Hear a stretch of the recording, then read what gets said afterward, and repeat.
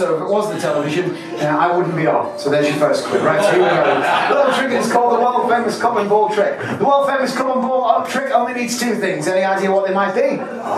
A ball, very good. Both of which I keep here inside of my fez. The hat that was worn by Mr. Tommy Cooper. Let's have the things examined first. Trick with a cup and a ball. And we'll have them examined by this lovely lady. What's your name?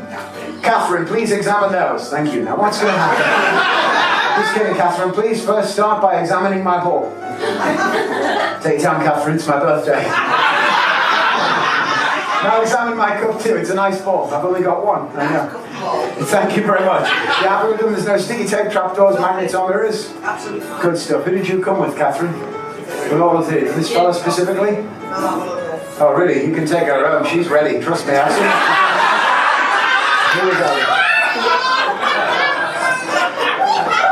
So here we go, a little trick of the cup and the ball, all ball in the cup, Catherine. All you got to do in this little trick is watch this ball. Sometimes it will be inside of my hand, sometimes it will be inside of this cup, and every now and again, Catherine, it will be in my pocket. But don't worry if you get it wrong, because as you can see, I move fast, talk faster, and I cheat. All right? How do I cheat? Well, I'll show you exactly how. I drop the ball in the cup. I turn it over quickly. That is on purpose. It's to confuse you. Now you're not sure. Could be in the cup, could be in the pocket. And Catherine, if you say the cup, I'll sneak it in the pocket. But if you say the pocket, I...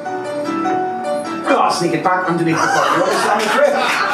Good. Now, a quick point of health and safety. I did not swallow the ball. Because if you swallow a ball this big, it hurts. Twice.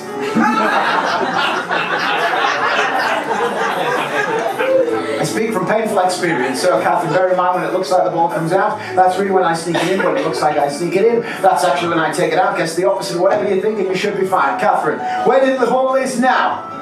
In the pocket. Let's start again. Don't forget, it's always in the pocket. All you gotta do is watch close, Catherine. We'll do a 50-50 just for you. Which hand? Never take your eye off the cup. That is what the whole trick is about. Okay? Don't laugh at her, it got you too. Here we go, watch close. Catherine, for £50, where do you think the ball is now? In the cup. In the cup! No, that's where I keep the lemon. Good try though. That was a good guess. Please hold your applause. Save it for the orange. Look at that. That is two in a row. Thanks so much. And now-